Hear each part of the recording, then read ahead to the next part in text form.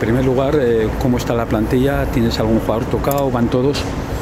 Bueno, estos que estaban un poco tocados hace dos tres días están un, un, poquito mejor, pero para partido estaremos todos bien.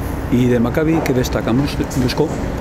Yo creo que este año eh, está haciendo una gran temporada y sobre todo jugando en casa, juegan muy agresivos, muy atléticos, con mucho contacto. Es equipo que roba más balones tiene muchas canastas fáciles en contraataque, rebote ofensivo, muy difícil a jugar allí.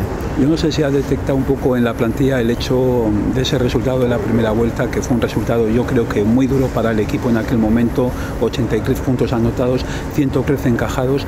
¿Detectas un poco ganas, eh, no sé si de revancha, pero ganas de hacer bien las cosas?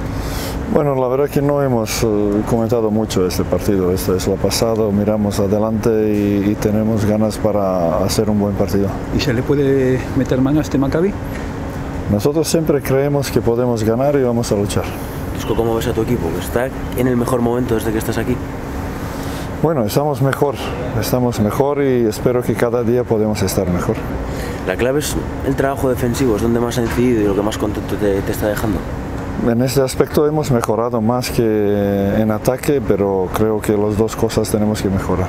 ¿Cómo explicas un poco ese, trabajo defensivo que, implantas en el equipo? Es muy físico desde los bases, un poco que se contagia al resto del equipo. ¿Cómo, se analiza eso? Defensa es, si, quieres jugarlo, defensa es, no es defender, ir atrás, defensa es atacar balón y atacar uh, rival. Para mí esto es buena defensa y, y últimos partidos estamos casi casi para conseguirlo.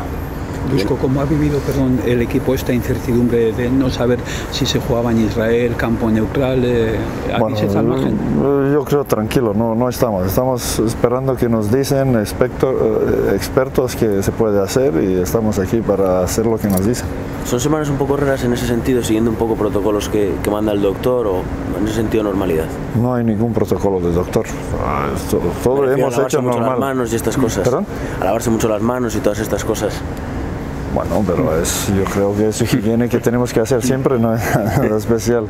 Dusko, se habla mucho también eh, de los encuentros a puerta cerrada, otra corriente que habla de posibilidades de aplazamiento, no lo sé, ¿cómo, cómo ves tú todo esto?